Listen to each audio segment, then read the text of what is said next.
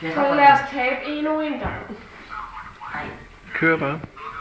Skø, Mia, du kan jo ikke starte i den her position, så har du kan godt overblik. jeg kan ikke hvordan det er, det snakker. Tror du, det er anderledes? det kan godt ja. Jamen, Vi skal faktisk være sådan her. Sådan der, ikke? Skal du se det? Og så skal du lægge den ned. Så den er rundt, ja. Okay? Er du klar? egentlig ikke. Kom så. Det skal bare du det skal bare du blive igen. I kan bare begynde.